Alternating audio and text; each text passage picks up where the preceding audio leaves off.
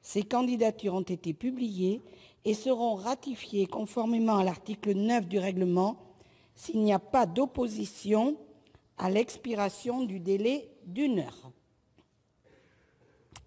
L'ordre du jour appelle l'examen de deux projets de loi tendant à autoriser la ratification ou l'approbation de conventions internationales.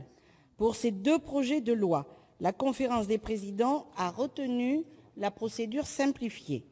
Je vais donc les mettre successivement aux voix. Je mets aux voix l'article unique constituant l'ensemble du projet de loi adopté par l'Assemblée nationale autorisant l'approbation de l'arrangement concernant les services postaux de paiement. Donc, qui est pour? Qui est contre? Qui s'abstient Le projet de loi est donc adopté définitivement. Je mets aux voix l'article unique constituant l'ensemble du projet de loi adopté par l'Assemblée nationale autorisant l'approbation de la Convention postale universelle. Qui est pour? Qui est contre? Qui s'abstient? Le projet de loi est donc adopté définitivement. Alors, je voulais euh, que nous prenions euh, deux minutes là pour accueillir une délégation de la Rada d'Ukraine.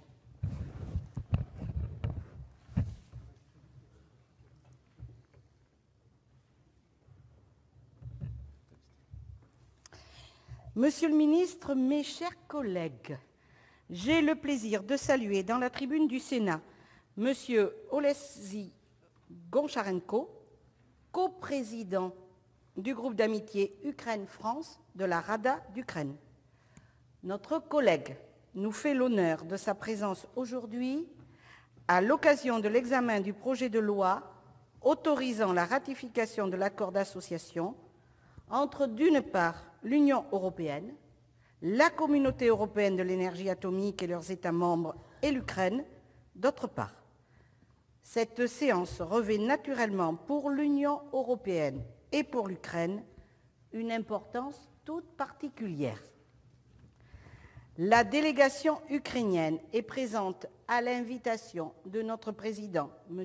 Gérard Larcher, qui a rencontré M. Petro Poroshenko président d'Ukraine le 22 avril dernier. À l'issue de notre débat, la délégation sera reçue par le président Larcher, puis par le groupe d'amitié France-Ukraine du Sénat.